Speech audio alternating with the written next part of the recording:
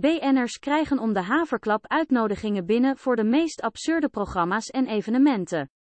Als je Dries Roelvink of René Leblanc hebt zeg je daar gewoon ongezien, ja, tegen, maar sterren die geloofwaardig willen blijven slaan vrijwel alles af.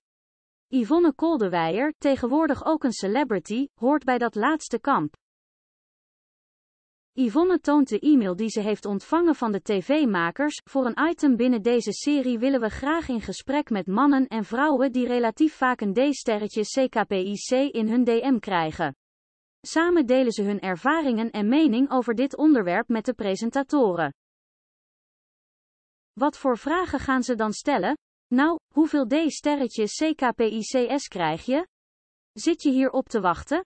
Hoe ga je ermee om? Voor dit gesprek willen we graag Yvonne Koldewijer uitnodigen. Ik ben benieuwd of zij veel te maken krijgt met D-sterretjes CKPICS en of zij interesse heeft om hierover te praten. De draaidag staat gepland op woensdag 23 augustus.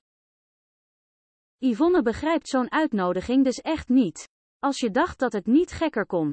BNNVARA wil een programma maken over D-sterretjes CKPICS, vrouw die het gezicht met de hand bedekt of ik interesse heb om over D-sterretjes CKPICS te praten. Tranen van geluk why? De Juice-koningin heeft het volgende antwoord teruggestuurd aan de tv-makers, no thanks.